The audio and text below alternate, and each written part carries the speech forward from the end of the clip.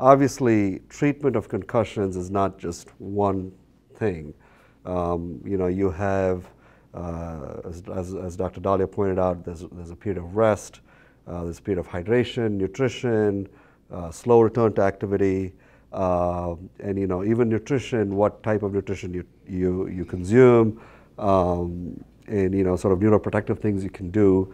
That's a whole separate sub subset. But in terms of, you know, is there a treatment modality that can help you uh, in addition to physical therapy, in addition to vestibular therapy, in addition to, you know, cognitive behavioral therapy, um, and not having to take medications, especially with persistent symptoms. You know, I'm a physician. I really don't like to take medicines. um, and so if there's something you can do that's low risk uh, that can help you, you know, you'd probably want to jump on board. So we'll talk a little bit about light therapy and how it, how, how it helps. So photobiomodulation therapy is really using red light and infrared light, and I'll kind of show you the spectrum of how that is. And uh, we, it's used to heal, stimulate, regenerate, and protect, protect tissue that's been injured, degenerating, or normal tissue if you want to be better than normal. So it not only has benefits for, um, for you know, you know, if you're sick and you're trying to get better, it also has benefits for people who are normal and want to elevate the game and want to be superhuman, if you will. How does this work? I'm not trying to scare you with a little biology, but the mitochondria used to be prehistoric bacteria that you know, formed an alliance with, a, um, with your eukaryotic cells, and that's how we made energy. The, the, the prehistoric bacteria, sort of, the mitochondria almost have a bacterial structure, and um, you know, they sort of combined with our cells, and they, you know, sort of, you know, I'll, you give me nutrition, I'll give you energy, sort of, you know, had the symbiotic relationship.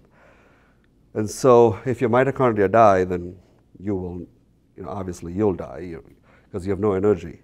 Um, so ATP is your energy currency. That's how um, ATP is made by the mitochondria, and that's how all of, you know, takes in sugar, there's a Krebs cycle, makes ATP, and that's how you have energy to do everything, the cellular functions, you're staying alive, you know, everything that goes on in your body is, is run through ATP. So without it, you can't do much.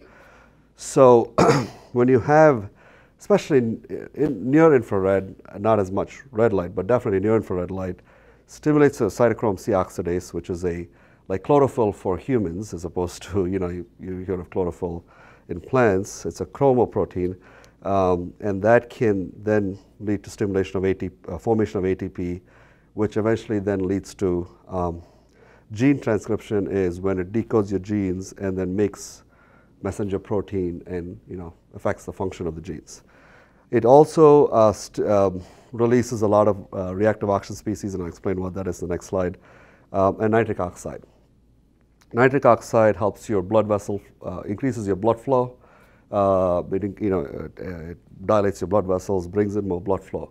So when you talked, when Dr. Dalia was talking about, you know, pathophysiology of concussions, one thing you learned is there's decreased blood flow, there's decreased glucose metabolism, um, the neurons get depolarized. This therapy does the exact opposite of all of that. It repolarizes your neurons. It, uh, you know, increases your blood flow and um, helps you heal, and we'll kind of get to that a little bit. Now, when I was in medical school, and even to this day, I think most doctors believe that um, your brain, when it's injured, you can't, you don't replace it with brain cells. Uh, unlike a bone, you break a bone, you know, you cast it, you you form bone tissue and you heal, right? For the most part, that's accepted. We know that. The brain doesn't, for the most part, doesn't do that. You know, you get a brain injury, you have a stroke, you have a bleed. Um, you don't replace it with brain tissue, you really replace it with scar tissue and brain atrophy, and then you sort of, you know, that's why people don't really get better, and that's sort of what started med schools, what we all believed in. But increasingly, we're realizing that um, when you, there are stem cells in your brain, they're dormant, that just stick around, even if you're older, they don't do anything, they just stick around, but given the right stimulation, especially if they're exposed to continuous uh, uh, 10 hertz um, uh, infrared light uh, for long enough, they actually then become neurons and then they neurons are brain cells, and then they replace what's lost. So what does photobiomodulation therapy do? It uses red and near infrared, say that again, to do all the good things to you, right? um, it reduces swelling, it increases antioxidants, decreases inflammation, it protects against apoptosis. This is just a fancy word for cell suicide. Um, apoptosis is um, what happens when a cell is injured, but it doesn't, when a tissue is injured and it doesn't, you know, it's not fully damaged or doesn't die yet, it has two choices. Um, it's like, am I going to try to heal myself? Or it's like, ah, it's too late, I'm just going to try to kill myself off. So apoptosis is a cell suicide where it's actually triggered through the mitochondria, where the mitochondria say, yep, you're not a good friend anymore, I'm, I'm moving out. and so when it does that, energy production stops, cells die. Uh, that happens in the brain a lot. So for instance, um, when patients, we deal, deal with this a lot, um, they have cardiac arrest, when the heart stops suddenly, they're out and about and the heart stops suddenly, you know, you're doing CPR, come to the hospital, and they're in a coma. And right, you know, right now there's some amount of brain damage, but a lot of the brain is stunned. And at that point, over the next two days, the brain has a decision to make. The brain cells are going to decide if they are going to try to wake up again and recover, or they're going to commit suicide and die. And those that commit suicide and die, obviously, those patients don't do well. So, one thing we found uh, is if we cool the body down to 33 degrees and kept the body cold um, for 24 to 48 hours and slowly rewarm the patient, we start to stop that cell suicide process we fool the, the brain into saying, okay, you don't have to kill yourself out, your energy needs are really low, so we're not going to let that happen. Light does the same thing. It re energizes the cell so it doesn't feel like it has to commit suicide. And then microglial activation. Microglia are like your um, white blood cells for your brain. And they do the scavenging, they look for infections, and they look for things that shouldn't be there, toxins, and and uh, you know they get activated by red cells. So we'll talk a little bit about um, sort of not very clear on the slide, uh, but um, light therapy does a number of things. It increases blood flow, it recruits new blood vessels, it improves drainage of lymphatic. Lymphatic. So for the longest time, we thought the brain didn't have lymphatics. And a couple years ago, not maybe five years ago, we said, oh, it does have lymphatics. And so we've, and then um, lymphatic, so it's kind of like your, your drainage system. So it drains out all the bad stuff. Um, so uh, it helps with moving all the bad stuff out, stuff out of the brain.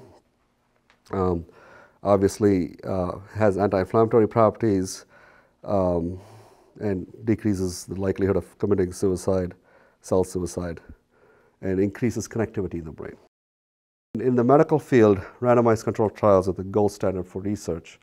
And uh, photobiomodulation has over 550 randomized controlled trials showing positive effect. Um, you know, 4,000 plus lab studies and lots of publications that are coming out every day. Um, and again, this is kind of what I was talking about.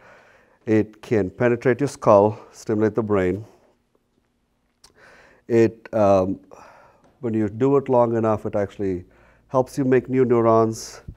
Uh, it increases connectivity in the brain and normal connectivity. There's actually a ton, if you ever have time, um, there's a series of YouTube videos by uh, Dr. Lew Lim that talks about, e that looks at functional EEGs.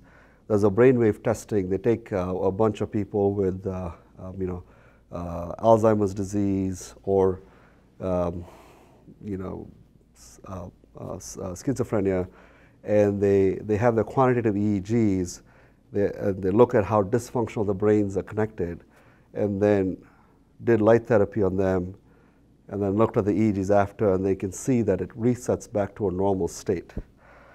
So, um, and in clinical studies, especially for chronic TBI patients, using light seemed to help with executive function, which is, you know, you're working, uh, you know, your daily tasks, um, uh, working memory, and also improved your sleep.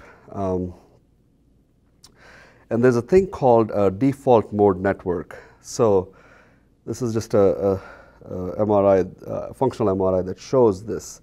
A default mode network is different parts of your brain that are connected when you are, like right now, daydreaming. So basically, when you're not paying attention to a task, uh, when you're just sitting and not doing anything, you know, doing something mindless, your brain is not, you know, shut down and not doing something. Your brain's actually in default mode. The default mode is sort of your background screen, whatever, you know, on your computer. It's your background programs that are running. What this does is, this is how the brain then, you know, sort of resets itself, heals itself, does things. It's housekeeping for the brain. It's the natural connectivity that happens. When, um, so one of the things in patients with Alzheimer's, they don't have normal default network state.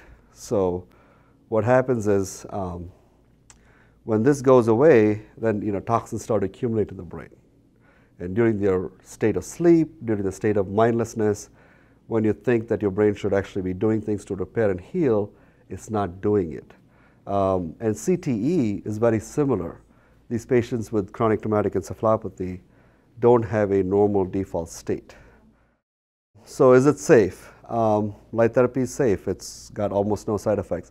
When you use low-level uh, light or photobiomodulation, your body sort of takes takes what it needs and sort of, if you give it a little more, it's not going to get overstimulated. It's going to let it go. I mean, if you use high, you know, high energies, yes, you might overdo it. But if you use the normal energies that we use here, the low powers, um, you don't really, um, there's no such thing as overdoing it. Um, once you get to far infrared, that's kind of like almost like your microwaves. That's when your tissues start to heat. Uh, it sort of gets absorbed by water, agitates it, and starts to get hot. Uh, but with red light and inf near infrared light, you don't see that effect.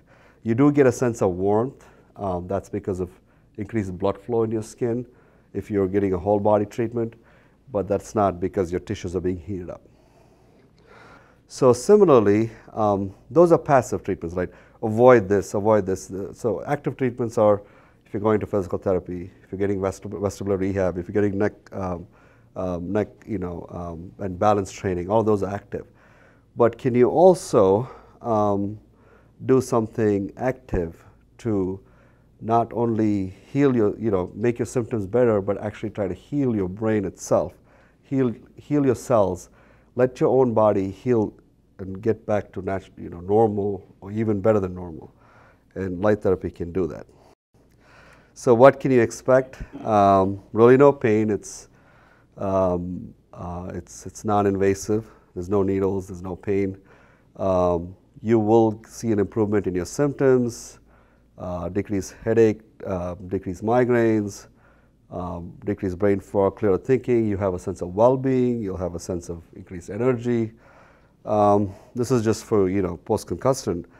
In general, photobiomodulation has been shown to help with symptoms of arthritis, um, and um, believe it or not, actually, this is quite popular with NFL athletes and, and the Navy SEALs. They get treated with whole body photobiomodulation uh, treatments um, before they exercise, and they found that actually the stuff on that wall, if you ever get time, go look at the studies on the wall.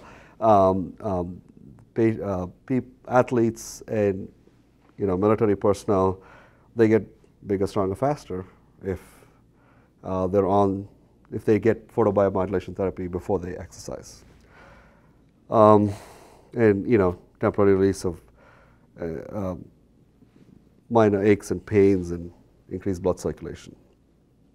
So if you do come uh, here with, I'm not getting paid to say this, so if you do come here um, for treatment if you have a concussion or for general well-being, there's different protocols that, that's used, and I'm sure Kelly and the team will, will talk more about those. All right. And you know, Greenville has photobiomodulation treatment, which I was super excited to find out it had it. So I'm such a big believer. I got a whole pod myself, bought one for my house. so, um, and I use it almost every day.